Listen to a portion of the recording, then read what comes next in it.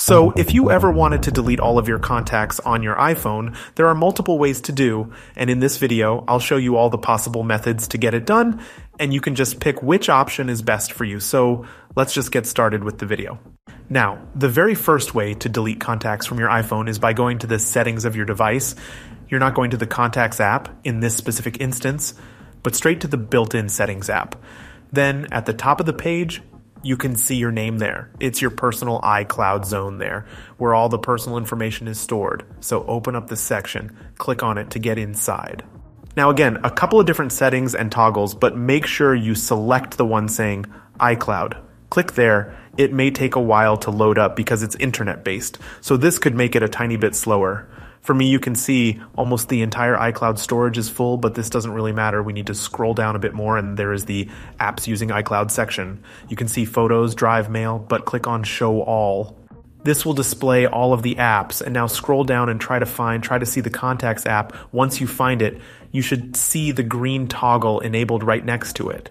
In this case, just turn it off like this. And then this pop up is going to be the most important one.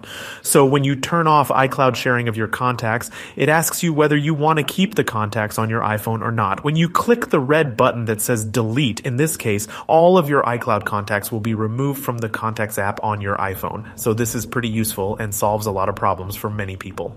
Not for everyone though.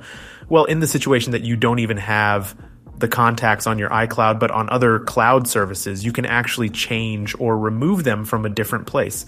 So, like I said, if you want to remove contacts from these other sources, then you'll need to do this. So, still in the settings, you need to come back to the main section and scroll down a lot towards the bottom until you find the contacts page. So, get inside it. In there, you can see for me, it's it's three accounts. So not only iCloud, but there are three other places where I can get contacts from. So if you want to remove everything, you'll need to remove all accounts.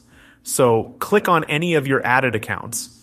It can be Gmail or pretty much anything else. And you can delete it entirely or again, just uncheck the contacts toggle.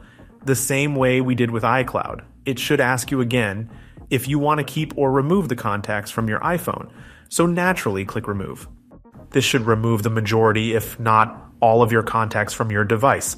You can always just get inside the Contacts app to see if there is anything left. If yes, you'll probably need to manually remove the entries, remove the people until your page looks completely empty. But this is still not the last method you can use to manage your contacts. Besides, using your iPhone only, you also employ some different devices, mostly your computer. So either log into your iCloud and manage your contacts there. Well, we removed all iCloud contacts from the iPhone already, but I'm just saying that you can manage them much better from a computer. There, you can also bulk delete them or select only those you want. Basically, more options.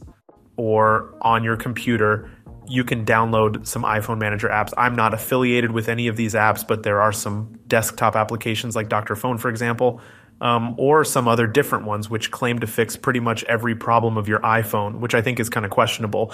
But what these apps can do is managing your contacts. I have pretty good experiences with managing contacts this way. So I'm just saying what worked for me. You, of course, don't have to use it. So if you want to go that route, you can install the app on your computer, plug in your iPhone, follow the steps and all the stuff, and you'll then be able to see your contacts on your computer screen. And not only cloud contacts, but those real stored on your device. So I find this to be very useful. But as you know, there are no settings or easy settings to manage contacts right from the iPhone. So this is how we're supposed to do it. If this video helped you out, I'd really appreciate if you hit that like button it shows me that my video indeed helped you out. So that's definitely nice. And also make sure you're subscribed to the Foxtecc YouTube channel because here I post a lot of videos like this one. So make sure you stay in touch. Thanks a lot for watching till the end, and I'll catch you guys in the future. Peace.